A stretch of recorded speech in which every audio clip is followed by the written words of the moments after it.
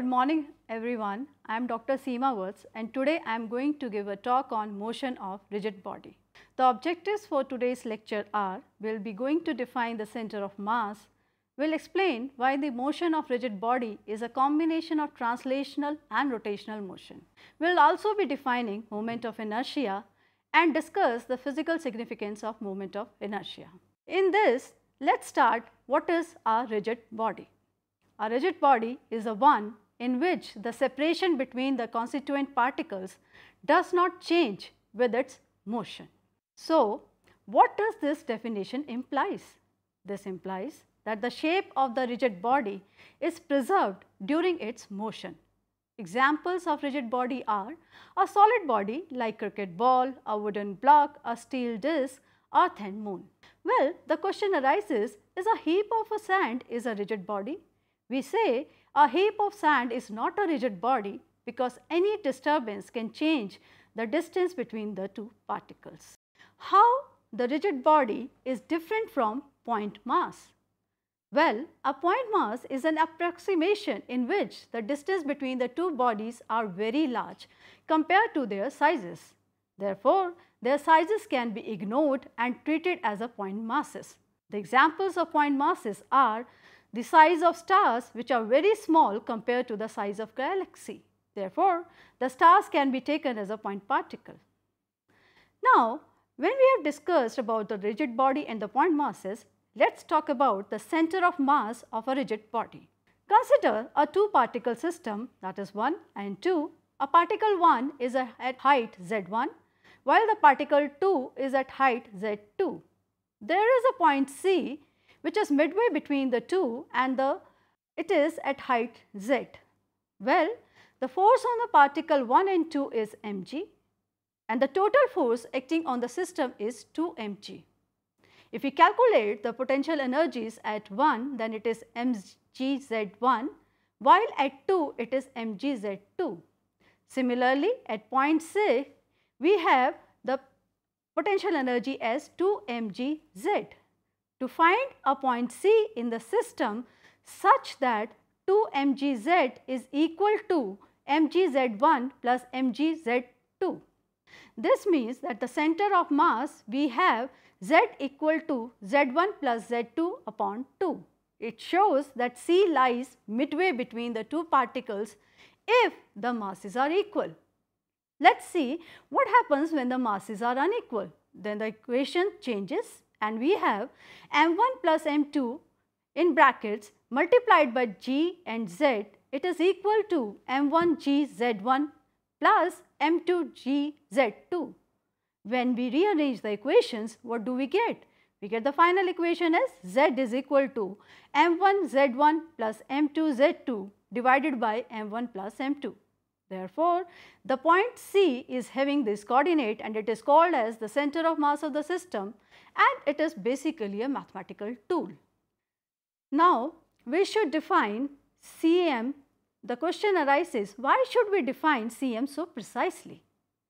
The force acting on the particles 1, 2, 3 which are along x-axis, then A1x denotes the component of acceleration of particle 1 along the x-axis and so on.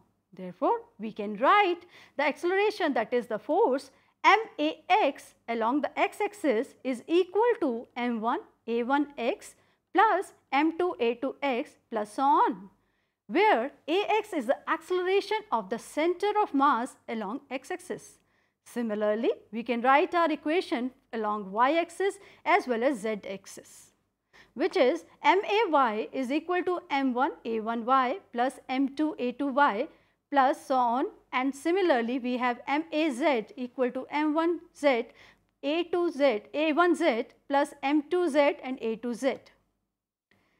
Then we will now come across that is we will just combine these three equations into one. We have force MA is equal to M1 A1 plus M2A2 plus M3A3 and likewise. M1A1 is the sum of all the forces acting on a particle 1. We have M2A2 is the net force acting on a particle 2. Therefore, in the above equation, the right hand side is the total force acting on the body. Since we have discussed about the total force, now let's see what kind of forces act on a body. There are two kind of forces that act on a body. First is an external force which is due to the sources outside the body. Second is the internal force due to interaction among the particles. The example is cohesive force. In a rigid body, the sum of all internal forces is 0 because they cancel each other in pairs and the sum of all external forces is responsible for the acceleration of the individual particles of the body which is given by ma is equal to f external. So, now we can define that is cm. The cm of a body moves as though the entire mass of the body were located at that point and it was acted upon by the sum of all external forces acting on the body. Now, we got the answer to our question that why do we define Cm so precisely? Because there is a simplification introduced in the derivation once Cm is defined and we need not deal with millions of individual particles now. Only Cm is to be located to determine the motion of the body. Also, motion of Cm is determined by the external forces and internal forces have no role to play. Let us consider the path of Cm in case of a projectile motion of a body. For this, let us take up this figure. There is a bomb which is being thrown and it has a projectile motion. But what happens, this bomb explodes midway. All the fragments, they are being distributed in the air. But the path of CM, it remains unchanged. Here there are two points to be noticed that is the explosion is caused by the internal force while the external force due to gravity it remains unchanged. Therefore, this the gravity it remains the same therefore, the path of the CM that is the center of mass instead the particles are distributed here and there in the air it remains same that is parabola in case of the projectile motion. Let us consider the center of mass of some bodies. Let us we have a triangle, then the question arises what is the position of center of mass? In a triangular plate, the point of intersection of three medians is a center of mass for a triangle. Now you can see the different shapes that is a circle and a polygon, then the CM lies at the geometrical center of the figure. Similarly, for cylindrical shape and a sphere shape, we have again the geometrical center of the figure is the center of mass. Similarly, we can find out for the other shapes like that is pyramid and cone. On the line joining vertex with center of base, we have at the h by 4 of the height measured from the base. Figure with the axial symmetry you can say we have Cm at some point on the axis of symmetry. Similarly, figure with center of symmetry that you can see on the left hand side, we have center of mass at the center of symmetry. Now, things to be remembered about Cm. First, Cm may be outside the body that is in case of a ring. Also, when the two bodies revolve around each other, they actually revolve around their common center of mass. The best examples are stars in a binary system, earth and sun system. In earth and sun system, the mass of the sun is very large compared to the mass of the earth.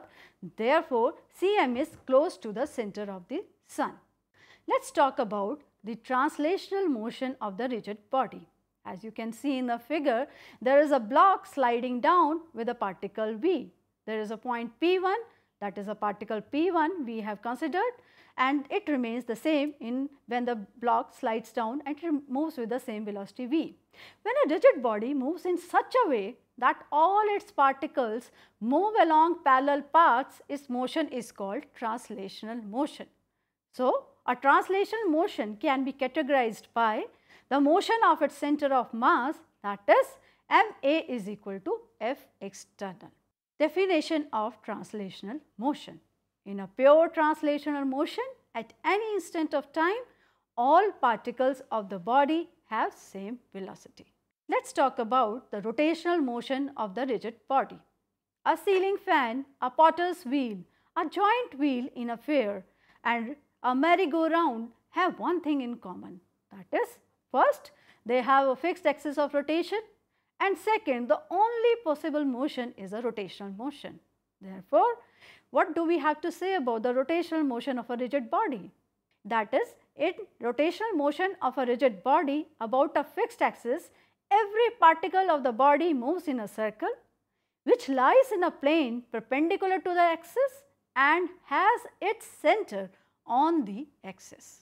Let us talk about a motion which is a combination of translational and a rotational motion. And the best example could be cylindrical rod just rolling down an inclined plane. We have taken an irregular shape of the cylindrical so that we have different points that is P1. We know that when the cylinder rolls down, the P1 position changes. So, the rolling motion of cylinder down an inclined plane is a combination of rotation about a fixed axis and translation. That is the combination of translation and rotational motion, it can be defined in a way that is the motion of a rigid body which is not pivoted or fixed in some way is either a pure translation or a combination of translation and rotation. The motion of rigid body which is pivoted or fixed in some way is rotation. Let us come to moment of inertia. What is an analog of mass in rotational motion? Well, the answer to this is very interesting term that is moment of inertia. Let us consider a plane lamina which has a center of mass at point C and it rotates about an axis through this point. Suppose particles of masses m1, m2, m3 are located at the distance r1, r2, r3 from the axis of rotation and are moving with the speeds v1, v2, v3 respectively as shown in this figure. Let us consider this rigid body of arbitrary shape. For this, to calculate the moment of inertia, we have drawn a different concentric circle, first having the radius r1 and a particle of mass m1 is located here. Then we have taken another concentric circle which is having a particle of mass m2 at a distance r2 from a point O. The particle of mass m3 at a distance r3 and this lamina is rotating about an axis which is passing through the center of mass. Now let us calculate the moment of inertia of this plane lamina. When this plane lamina is rotating with velocity v, we will consider each particle moving with their respective velocity v1, v2. Now, let us calculate the kinetic energy of particle 1 which is equal to m1 v1 square by 2, the kinetic energy of particle 2 which is m2 v2 square by 2 and so on. If T denotes the total kinetic energy of the body, then we can write T is equal to m1 v1 square by 2 plus m2 v2 square by 2. This is now equal to summation mi vi square by 2 where i is going from 1 to n particles. Now this summation indicates the sum over all the particles of the body. We have studied in lesson 4 that angular speed is related to linear speed through the equation v is equal to r omega. Now, we will substitute this equation in the above equation. We get T is equal to summation i is going to 1 to n mi r i omega whole square divided by 2. What do we get is T is equal to i omega square by 2. That is where i is equal to the term summation over i mi r i square which is called as moment of inertia of the body. So, whenever we mention moment of inertia, the axis of rotation is always specified. What is the unit of moment of inertia? It is kilogram meter square. Let us talk about the definition of moment of inertia. The moment of inertia of a rigid body is given by I is equal to mk square, where m is the total mass of the body and k is called the radius of gyration of the body. How do we define the radius of gyration?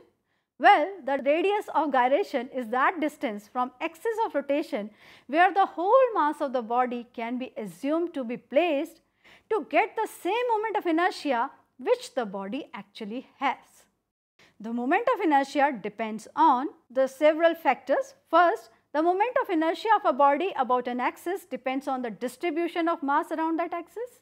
If the distribution of mass changes, the moment of inertia will also change. Moment of inertia of a body depends on the mass of the body, its shape and size. It also depends on the position and orientation of the axis of the rotation. We have a very nice application of moment of inertia that is a flywheel which uses the property that is moment of inertia is the measure of rotational inertia of the body. The machines such as steam engine that produce rotational motion have a disk with large moment of inertia. The flywheel, it resists the sudden increase or decrease of the speed of the vehicle. It allows a gradual change in the speed and permits jerky motions, thereby ensuring a smooth ride for the passengers on the vehicle. Let us talk about equation of motion of a rigid body rotating about a point O. For this, let us consider the figure in which there is a nail being attached at a point O. Here this is a plane lamina and we take an axis which is passing through O and we have a particle P which is located here and denoted by point P. We rotate this lamina through an angle theta so that this is being rotated and our point P it reaches P dash. So, how what can we write about the equation of motion of this rigid body which is rotating about an axis which is passing through O.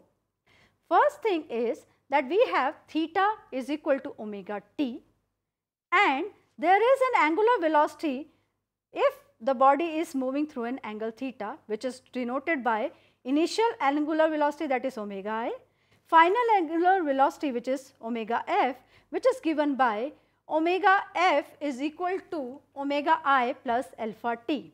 Now, here there are another two equations that we can write that is theta is equal to initial angular velocity, the time taken to rotate plus half alpha t square. What is alpha? Alpha is angular acceleration. Similarly, we have another equation that is omega f square that is final angular velocity square is equal to initial angular velocity square plus 2 angular acceleration multiplied by theta the angular displacement which is in t seconds. So, in a way we have now discussed the equation of motion of a rigid body having a rotational motion. Let us consider in this chapter what we have learned so far. A rigid body can have rotational as well as translation motion. The equation of translation motion for a rigid body may be written in the same form as for a single particles in terms of motion of its center of mass. If a point in the rigid body is fixed, then it can possess only rotational motion. The moment of inertia about an axis of rotation is defined as summation mi ri square and last but not the least the moment of inertia plays the same role in the rotational motion as does the mass in the linear motion. Thank you.